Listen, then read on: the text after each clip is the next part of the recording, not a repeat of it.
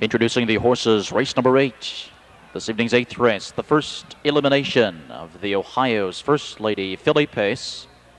Three-year-olds racing uh, one mile, a purse of $18,648. There are no changes in this field of 10. Number one is a Nobleland Sam Filly, owned by Terry Gillen of Massillon, Ohio. Jeff Cox is the uh, trainer. With a mark of 156 and 3 here at Scioto Downs, earnings of $50,000. Dave Miller driving Lola's Bud Light. The two is a Tucson Hanover filly owned by Charles and Kathleen Kidd of Utica, Ohio. Kenny Kidd, the uh, trainer, with a mark of 159 and 3 in a qualifier. Earnings of $18,000. Coming in from Mount Vernon, it's Tucson Shannon with Kenny Kidd.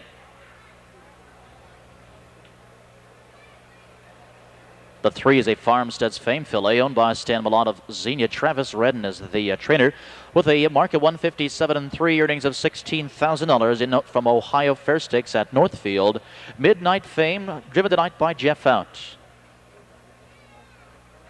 The four is a daughter of Tudor Scooter, owned by Jack Franklin of Xenia and Val Beam of Columbus. Jack Franklin is the uh, trainer. Three-year-old record at Lexington, 156 and three earnings of $8,500. In from Washington, it's Hills Puppy Scooter with Jack Franklin.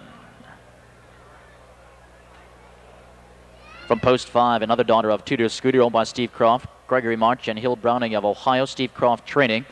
A three-year record, her last start here, 56 and 2, earnings of $27,000. Dave Hawk driving Hills War Feather. Number six is a Dare You to fillet owned by Don Huddleston of Chillicothe, Jerry Kuchbach, the uh, trainer, with a three-year record of 57 and 2. Her last start here at Scioto Downs, $22,000 in earnings. Jim Daly driving favorite Madam. The next one is also a Tudor Scooter filly owned by Barbara King of Columbus. Jimmy King trains. A two-year-old bust to 154 and 3. Earnings of $120,000. Randy Tharps behind King's First Lady.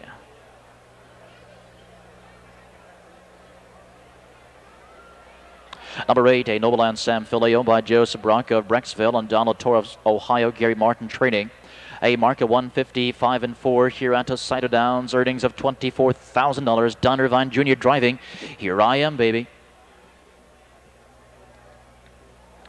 From the far outside, post nine, it's a Nobleland Sam filly owned by Al Vestink, Virgil Morgan, Grove City, and Ron Broadstone of Columbus. Virgil Morgan Jr. trains. A mark of 159 and 1 at the Meadows, earnings of $70,000. Brad Hanner's driving Duchess Tradition. Trailing position number 10. Here is another Tudor Scooter filly owned by Ross Herr and Jim Woodward of Groveport. Ross Herr, the trainer. A mark of 156 and 4, earnings of $34,000. Merrymaker with Eric Ledford. There's your field. First elimination. The first four will return for the 12th race final. One play show perfect. First elimination, Ohio's First Lady Filly Pacers lining up and moving in. They're on the back stretch. There they go. And uh, they're off, and it's Lola's Bud Light from off the rail, moving briskly for the lead. Hills Peppy Scooter right there with her, racing a second, and from the outside, King's First Lady. Merrymaker slipping through alertly at the wheel is racing for it. Five of the outside and looking for a seat. Here I am, baby. And at the rail, racing is sixth. It's Tucson Shannon. To the outside, racing is seventh. Duchess Tradition. Two lengths and eighth. It's Midnight Fame. On the inside, the early trailer is favored Madam. They reach the first quarter mile marker, 26 and 3, moving right along here. And it's Lola's Bud Lights with the lead, and Miller will reel her in here looking for a breather, but he won't get it. Here comes Merrymaker, and Ledford is pulling the pocket with a 3 to 1 Merrymaker. And Merrymaker sent right to the front. Lola's Bud Light to the inside. She'll get a nice breather here.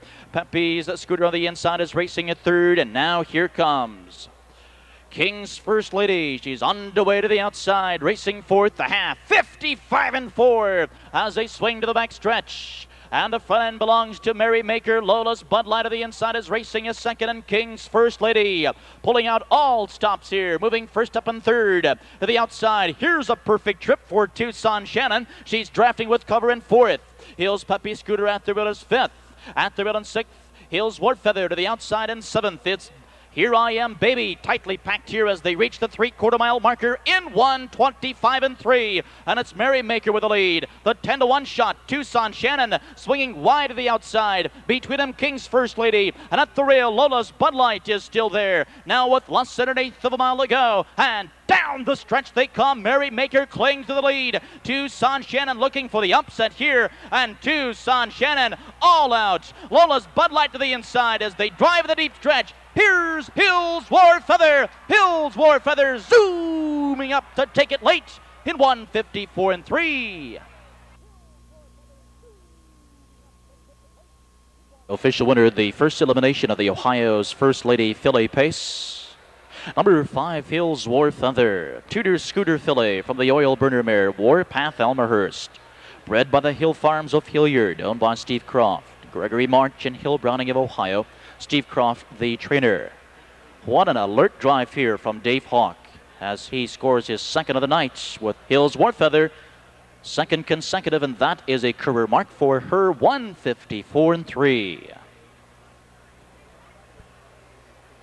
Order finish from the top Lola's Bud Light 2, Tucson Shannon 4, Midnight Fame 10, Hills Peppy Scooter 6, Hills War Feather the winner, Favorite Madam 5.